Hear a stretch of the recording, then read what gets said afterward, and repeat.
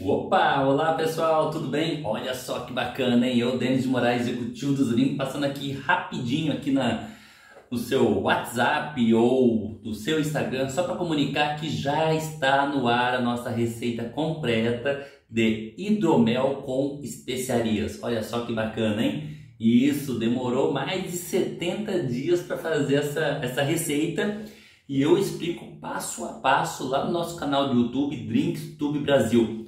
Cola lá, dá uma olhadinha, deixa seus comentários, curte, compartilhe com seus amigos que logo logo teremos novas receitas lá. Drinks engarrafados, uma alternativa ótima de ter uma segunda renda ou viver dela, né? Então aqui nós temos já o Negroni, temos hidromel, Black Rússia e logo logo vamos estar ensinando a elaborar como fazer mais drinks engarrafados, hein? Então cola lá, Drinks Tube Brasil.